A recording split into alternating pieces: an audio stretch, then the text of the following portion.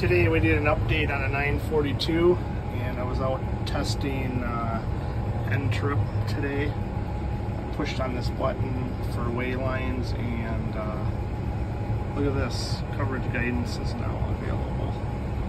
So if that's green up there, it's a check mark. And then I have my trigger on green minus here.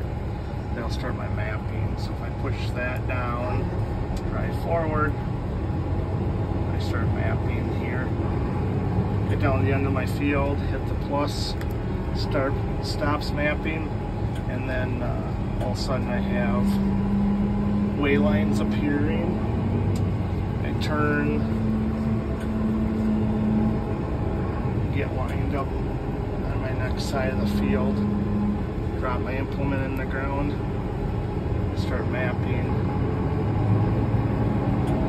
and it down the other end of the field. I'll just do a short one here so the video isn't too long. Come down the end of my field, stop, raise my implement up, and then I have another line all the way appeared. I can do this basically on four sides of the field. So I get turned around on the other end, drop it in the ground, drive,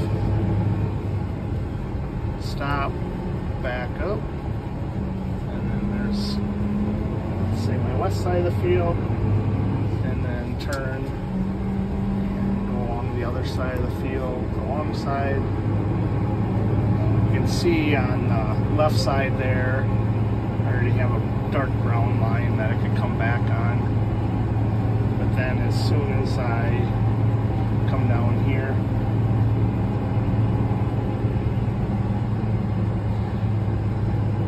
I can stop, raise up. Now I have a line there.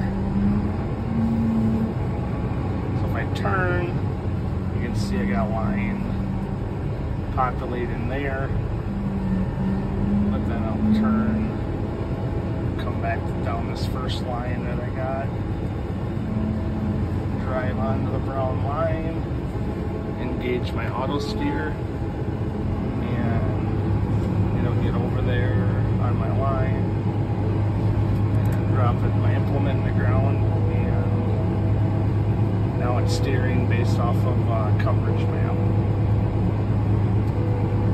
I know a few you, you've a few of you guys have been asking about this in the Fendt tractor, and so I finally realized that it's here.